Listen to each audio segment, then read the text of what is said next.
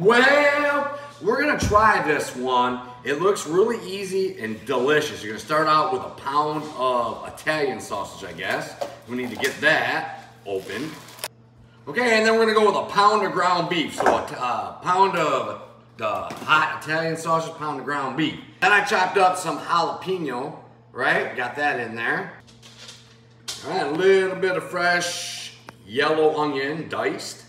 You knew it was coming, but you just didn't know when. We're starting out there with the cheese, eight ounces of the cream cheese, soft and room temperature, and some Colby Jack cheese, right? Just a little bit, a little bit. My little bit is more than the extra little bit, because it's cheese. Now we're gonna go with some Sweet Baby Ray's. We're gonna go with, uh, or whatever barbecue sauce I guess you want. I wanna use the Sweet Baby Ray's original, and uh, we're gonna go with one third of a cup. All right, all right, there it there it is. A little more. All right, there it is. All right, then we're gonna, I guess, go with some Slap Yo Mama uh, Cajun seasoning, or Slap Yo Mama, right? All right. Let's get some of that in there. Next up, some garlic powder, I guess a couple teaspoons. Eh, let's see, a little more. Okay, that's about, that's about right. And we gotta go with some pepper. Put it all in there. It smells delicious, right? But now we need to go ahead and get all of this kind of mixed to combine, basically. Okay, so once you got it all mixed to combine, we're gonna just set that to the side. We're gonna grab a bake sheet, right, I guess. Some uh, some wrap, right? We're gonna cover this like so on the baking sheet. Okay, now we need to grab a wire rack. You know, everyone should have one of them in their kitchen, right? Not, they're not that expensive. Like that, we're gonna pull back out the meat. We're gonna grab some of these, I guess, some manicotti. Ain't been at this long. We're gonna use this whole box, right? And we're gonna take them. I see you. We're gonna take and we're gonna stuff these packed full like this. Get it all the way in so it's airtight.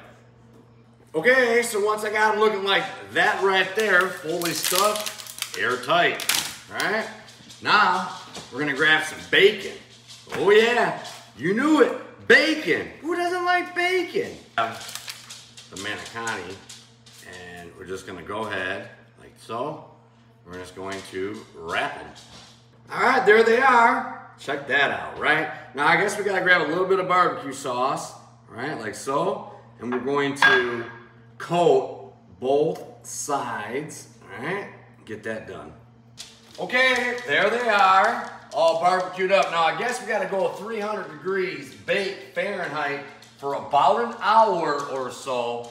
Then I need to turn them, re-barbecue sauce them, and then put them in for another hour, 60, 70 minutes basically. So a few hours all together, all oven times can vary, but we need the manicotti to be cooked and all the meat to be cooked fully and the bacon to be crispy. We'll see what happens. It's been a couple hours, right? Here they are. You ready? Mm-hmm. You ready? And would you look at that right there?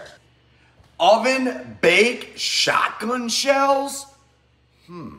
And the bacon, you can make it as crispy as you want, keep it in longer. All the meat's cooked in there, and the um, the uh, pasta is soft, right? Bon appetit. Mm. Mm-hmm.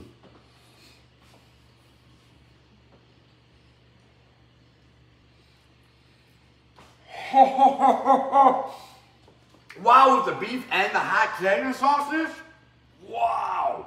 And yeah, the shell's done. Mm. Look at the inside. Fully cooked. Wow. That, mm. wow.